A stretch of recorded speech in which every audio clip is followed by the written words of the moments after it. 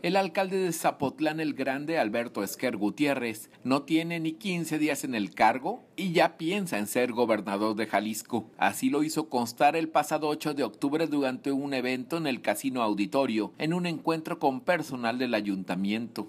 Durante su discurso con el que pretendió motivar a quienes serán parte de su equipo de trabajo, demostró ansias de novillero por llegar a la silla del Ejecutivo Estatal. Aquí parte de ese momento.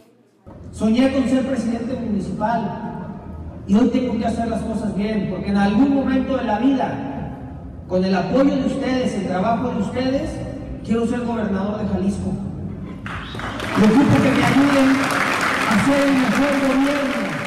El expanista dejó precisamente al blanqueazul para enlistarse a Movimiento Ciudadano y así alcanzar su sueño de ser presidente municipal de Zapotlán el Grande, donde apenas tiene dos semanas. Señal informativa, Víctor Manuel Chávez Ogazón.